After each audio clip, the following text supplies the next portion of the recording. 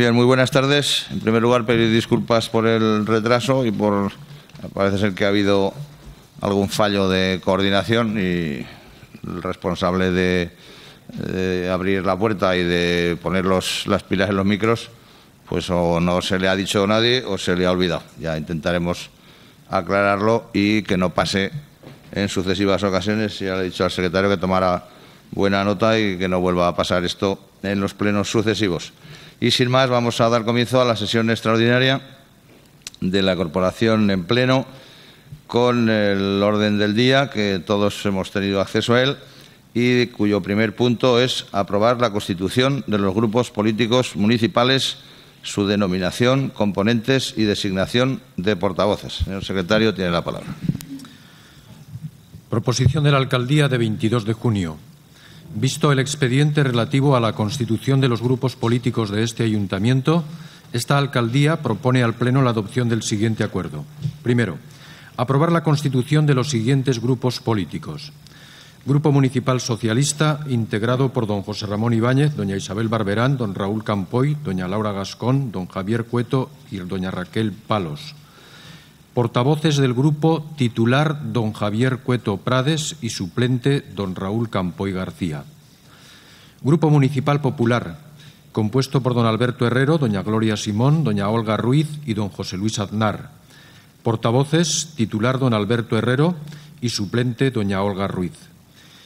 Y Grupo Municipal Partido Aragonés, compuesto por don Manuel Pascual Conesa Aguilar, quien actúa como suplente. Notificar el presente acuerdo a los portavoces para su conocimiento y a los efectos procedentes. ¿Alguna intervención? Pues, eh, si os parece, como el punto del día dice aprobar, supongo que tenemos que someterlo a votación. Por lo tanto, votos a favor. Pues por unanimidad de los asistentes queda aprobado el primer punto y pasamos al segundo punto, que es determinar la periodicidad de las sesiones a celebrar por el Ayuntamiento Pleno. Proposición de la Alcaldía de 22 de junio. Siendo necesario establecer mediante acuerdo plenario la periodicidad de las sesiones ordinarias que deba celebrar el Ayuntamiento Pleno y considerando que dicha periodicidad deberá respetar el límite máximo de tres meses, por esta alcaldía se propone al Pleno la adopción del siguiente acuerdo. Establecer la periodicidad mensual de las sesiones ordinarias del Pleno de este Ayuntamiento, fijando su celebración los martes de la última semana de cada mes. ¿Alguna intervención al respecto? ¿Alguien alguna propuesta de otro día de la semana o de otra fecha? ¿No? Alberto. Sí, buenas tardes. Sí, pues eh, desde nuestro grupo eh, y, por, y por incompatibilidad o por coincidencia de horarios también, eh, el martes no sería posible porque faltaría yo y nosotros entendíamos que sería mejor un lunes o un viernes.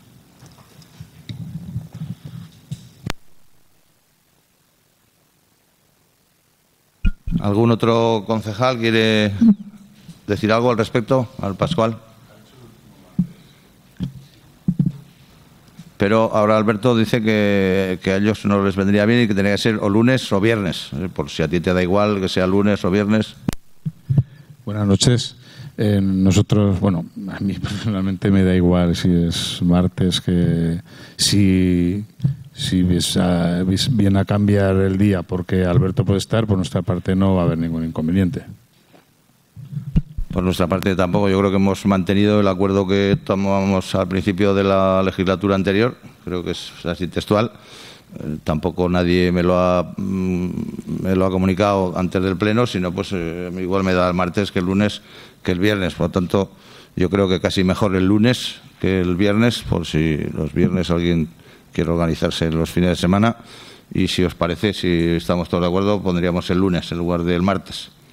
De todas formas, ya sabéis que aunque la ley nos obliga de alguna forma a determinarlo, pero luego normalmente cuando se convocan los plenos, pues lo solemos comentar e intentamos que nos vaya bien ahí y no siempre se cumple con esta fecha que, ahora marcamos, porque la marcamos pues un poco sin saber exactamente cuál va a ser la dinámica después de, de funcionamiento, ¿no? Pero en principio, si os parece y estamos todos de acuerdo, lo dejaríamos para era el lunes de la última semana del mes. Pues los lunes de la última semana del mes. ¿De acuerdo? ¿Votos a favor?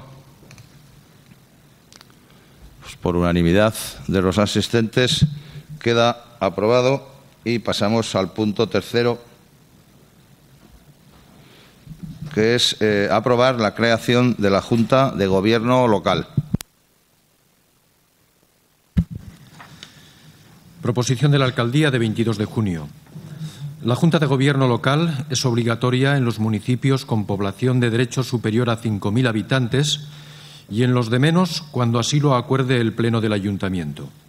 Considerando que la creación de la Junta de Gobierno favorece la participación de los concejales en la toma de decisiones, a la vez que permite la asistencia al alcalde en el ejercicio de sus atribuciones, por esta alcaldía se propone al Pleno la adopción del siguiente acuerdo aprobar la creación de la Junta de Gobierno local en el Ayuntamiento de Calanda. Manuel Pascual. Alberto. Pues, pues, votamos el punto tercero, que es aprobar la creación de la Junta de Gobierno local. ¿Votos a favor? Por unanimidad queda aprobado y pasamos al punto cuarto, que es en este caso, aprobar la creación y composición de las comisiones informativas. Proposición de la Alcaldía de 22 de junio. Corresponde al Pleno la determinación del número y la denominación de las comisiones informativas del Ayuntamiento. Cada comisión estará integrada de forma que su composición se acomode a la proporcionalidad existente entre los distintos grupos políticos representados en la corporación siendo el alcalde el presidente nato de cada una de ellas. Por esta alcaldía se propone al Ayuntamiento Pleno la adopción del siguiente acuerdo. Primero, establecer las siguientes comisiones informativas permanentes.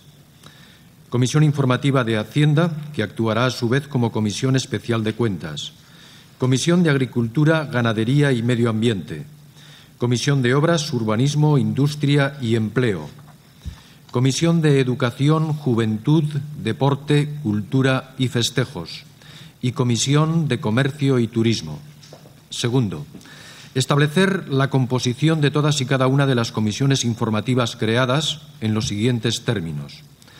El Grupo Municipal Socialista contará con tres miembros en cada comisión. El Grupo Municipal Popular, un miembro en cada comisión y el Grupo Municipal Partido Aragonés un miembro en cada comisión. Tercero, solicitar a los portavoces de los grupos políticos municipales la determinación concreta de sus representantes en las referidas comisiones informativas. Manuel Pascual. Alberto.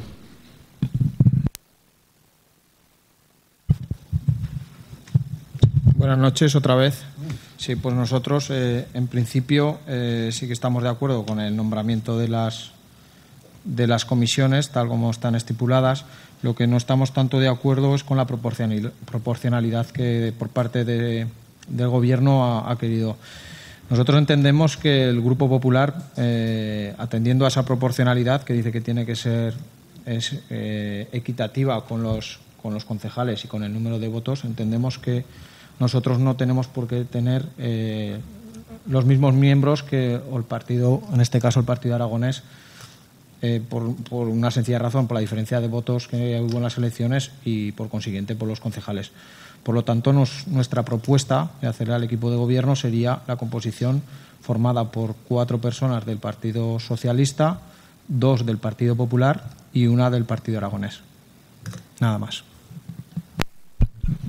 Muchas gracias, Alberto. A ver, eh, podría ser, pero en fin, son siete miembros, el Pleno tiene once, parece poco proporcional al número de miembros de la corporación. Por otra parte, siempre que un eh, grupo eh, político en este ayuntamiento ha obtenido seis concejales, siempre hayan sido los seis del Partido Popular, del Partido Aragonés en su día, o de la UCD o del Partido Socialista, siempre la composición eh, ha sido 3-1-1 y bueno, y así además eh, lo, entiende el, secretario del ayuntamiento, que es el que tendría en todo caso que velar porque se cumpliera lo que dice la ley. Al haber un grupo que solamente tiene un concejal y que la ley le da eh, todo el derecho del mundo a estar en todas las comisiones, pues eso es lo que hace que se distorsione la proporcionalidad. la legislatura pasada éramos dos, dos y uno, nadie tenía mayoría absoluta en el Pleno, eh, parecía lógico, pero nosotros, ya digo, entendemos que la propuesta que hacemos se ajusta perfectamente a derecho y nos parece lo más eh, razonable y, como digo, lo que se ha hecho siempre en este ayuntamiento, haya gobernado quien haya gobernado, se ha tenido eh, mayoría absoluta en el Pleno. Por lo tanto, si alguien quiere decir alguna cosa más y si no, pasaríamos a votar el punto del día. Bien, pues vamos a votar el punto número cuatro, que es aprobar la creación y la composición de las comisiones informativas. ¿Votos a favor? Siete. ¿Votos en contra? Cuatro. Pues con siete votos a favor y cuatro votos en contra y ninguna abstención, queda aprobado el punto número cuatro. Y pasamos ahora al punto número cinco, que es nombrar representantes de la corporación en distintos, en distintos órganos colegiados.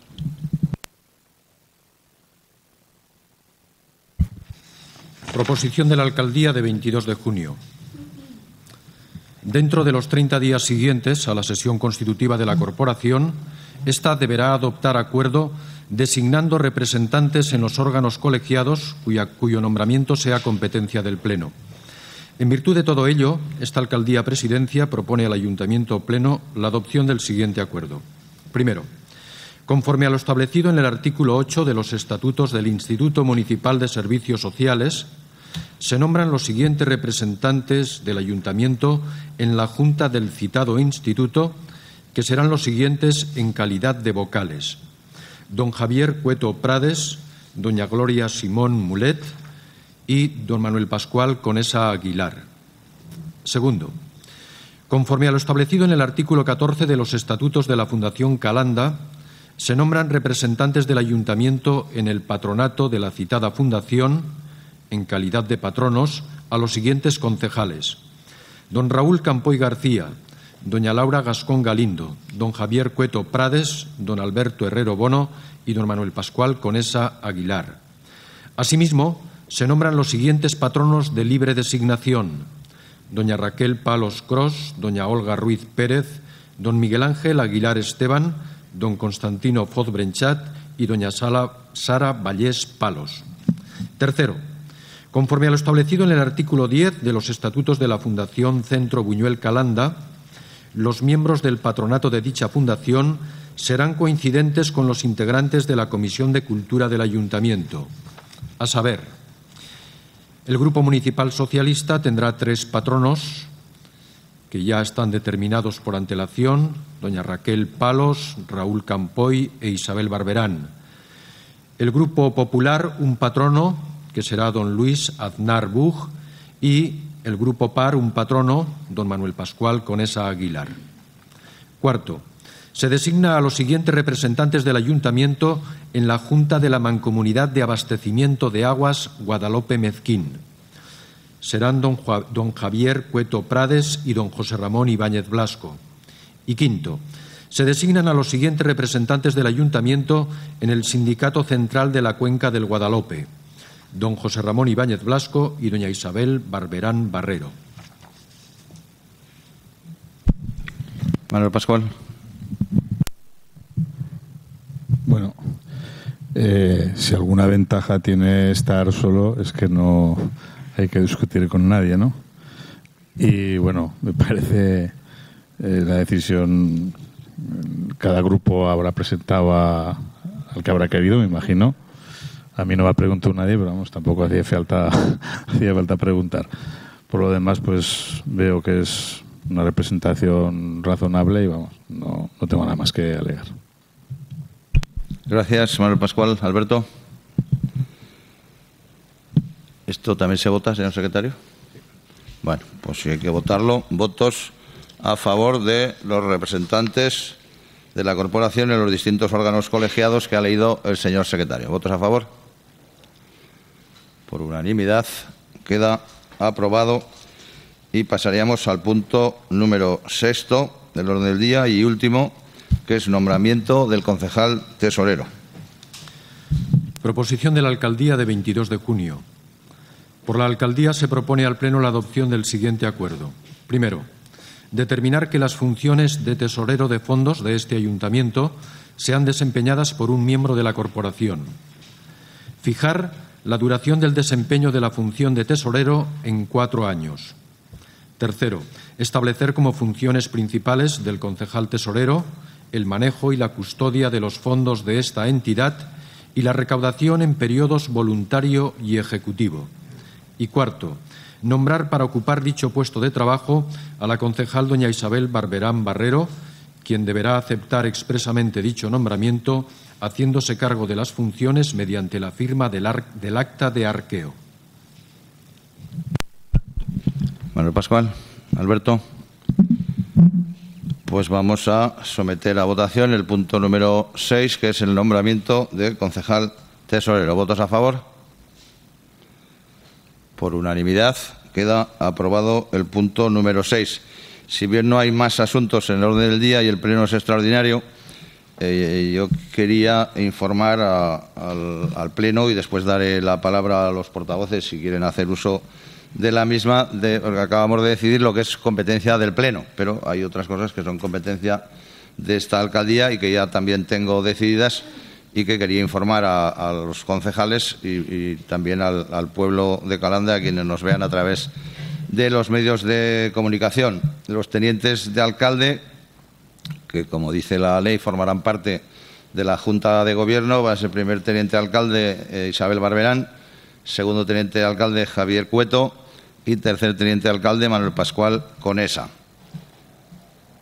Eh, las delegaciones eh, eh, que, voy a hacer de las competencias de la alcaldía van a coincidir con las comisiones que hemos, que hemos aprobado y serán las siguientes. Habrá, son cinco, seis áreas la primera es presupuestos, hacienda, personal y le hemos llamado de ahorro energético, en fin, la que tiene que llevar todo el tema económico y todo el tema de, ahorro, tanto energético como de lo demás, que eh, será Raúl Campoy, el concejal delegado.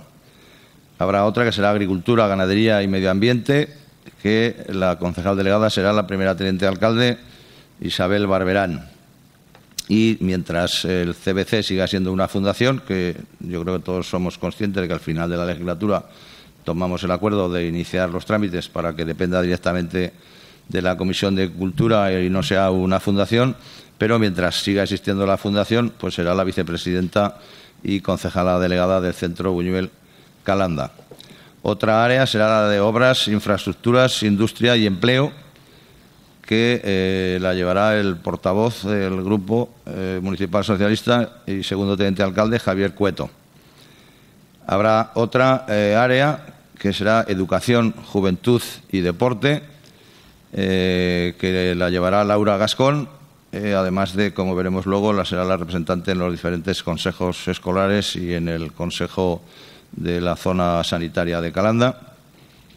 Y una tercera área que no sé, antes cuando ha leído el secretario las comisiones, a mí me ha parecido que no lo entendía bien, que me ha parecido que iba había, habría nombrado él dentro de la comisión Educación, Juventud, Deporte, Cultura y Festejos. No, en cualquier caso es hay una comisión que coincidirá con la delegación que acabo de decir y habrá otra comisión que será Cultura y Festejos. O sea, no es una comisión la que va a entender de todos esos temas, sino que van a ser dos. Educación, Juventud y Deporte, por un lado, y Cultura y Festejos, por otro, que en este caso además de ser la representante en la Escuela Municipal de Música, eh, será la concejal eh, Raquel Palos. Esas son las delegaciones y también eh, hemos hablado con el concejal del Partido Aragonés, con Manuel Pascual Conesa, y en principio, si, vamos, yo creo que lo tenemos claro ambas partes y seguiría llevando la misma delegación que tenía la legislatura pasada, que es la de Comercio y Turismo. Esas serían las eh, delegaciones que firmaré en los próximos días. Todavía están decididas, todavía no están hechos los decretos, los tiene que hacer el señor secretario. Pero en cualquier caso ya los diferentes concejales, como ya lo saben, ya se están haciendo eh, cargo de sus respectivas áreas. Como decía antes, en el Consejo Escolar del Colegio Público eh, Virgen del Pilar, en el Consejo Escolar del Instituto de Educación Secundaria Obligatoria y en el Consejo Escolar del Centro Público de Educación de Personas Adultas de Alcorisa, a la que pertenece Calanda, eh, la representante eh, será Laura Gascón. En la Escuela Municipal de Música, como he dicho también, Raquel Palos. En la Ruta del Tambor y el Bombo, Javier Cueto y Raúl Campoy. En Omecima, que es el programa líder, que por cierto ahora mismo está reunido en el Centro Buñuel, la asamblea del mismo, será Raúl Campoy. En la coordinadora Semana Santa, Javier Cueto y Raúl Campoy. En el Consejo de Salud de la zona de Calanda, Laura Gascón. La Mancomunidad de Abastecimiento de Aguas Guadalupe Mezquín, Javier Cueto y yo mismo. En el Sindicato Central de la Cuenca, estos me parece que ya los se, han, se han dicho antes, pero bueno, en el Sindicato Central de la Cuenca de Guadalupe, eh, yo mismo, Isabel Barberán. Y en el Consorcio Nacional del Tambor estará también Raúl Campoy y eh, Javier Cueto.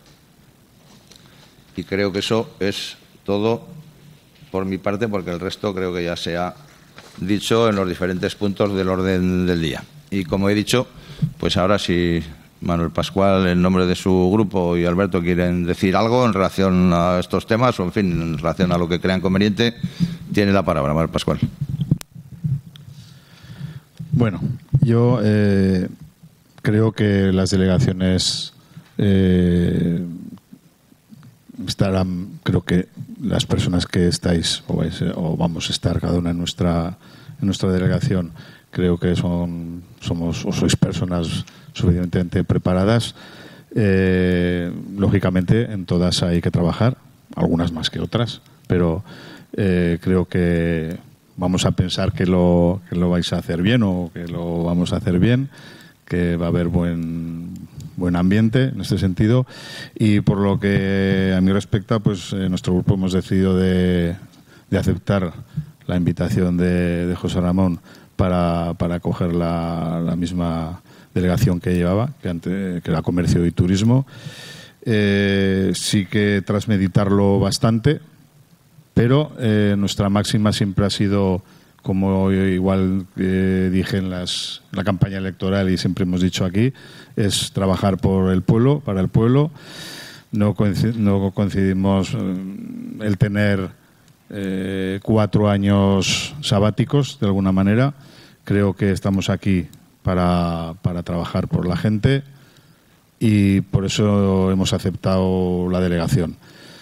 Eh, hay mucho que hacer. Es una, una delegación pues que, que, ahora mismo, con los tiempos que, corren en cuanto a la economía, al comercio, pues, pues son tiempos duros. Creo que hay que apoyar al comercio. Esa creo que va a ser mi, mi función y, mi, mi, intención. Y en cuanto al turismo, pues sí que aquí sí que habrá que colaborar también pues con, con las personas que estáis en, en la ruta del tambor o las personas que estáis en en la Comisión de, Semana Santa, la Coordinada de Semana Santa también. Y también la verdad es que hay cosas que hacer. Hay cosas que hacer en cuanto al turismo y, y Calanda hay que potenciar el turismo y lo que tenemos, que creo que, que, falta mucho que potenciar y hay que trabajar en ello. Y por eso ha sido pues el, el aceptar eh, esta concejalía, por eso, pues por porque estamos aquí para, para trabajar por el pueblo. Nada más. Gracias, Manuel Pascual. Y vamos, eh, en nombre del Grupo Municipal Socialista, en el mío propio, te agradecemos también que finalmente pues hayas optado por, por mantener la delegación y por intentar pues trabajar en ese área que además, bueno, pues yo sé que personalmente y políticamente siempre que has estado en el ayuntamiento te ha interesado y has hecho lo que lo que has podido, como hacemos todos, lógicamente, en cada una de las áreas de las que somos responsables. Eh, Alberto, ¿no, ¿no quieres decir nada? Bien, pues por nuestra parte eh, creemos que hemos hecho un buen diseño de, del equipo de gobierno, hemos hecho unas áreas de trabajo que creo que se corresponden bastante bien con las necesidades de Calanda. Tengo total y plena confianza en los seis concejales, los cinco concejales de mi grupo y en Manuel Pascual con esa mientras no se demuestre lo contrario, las competencias son de la alcaldía, quien las delega es la alcaldía, por lo tanto, sí que pido, lógicamente, pues la máxima lealtad y que se me informe de las decisiones, las cosas que se vayan haciendo, pero también con la máxima autonomía eh, total autonomía por parte de cada uno de los responsables, porque lo único que vais a hacer es trabajar muchísimo y trabajar por el pueblo de Calanda. Tampoco vais a trabajar para vosotros mismos. Así que os animo a que vayáis trabajando y pues eh, después de este pleno donde ya prácticamente está toda la maquinaria de nuevo del ayuntamiento puesta en marcha y engrasada, pues ya iremos eh, convocando eh, las diferentes comisiones y juntas de gobierno local, así como plenos para ya tomar acuerdos, digamos, pues del día a día y de las obras y de las cosas que vayamos planteando para nuestro pueblo. Y sin más asuntos que tratar, se levanta la sesión.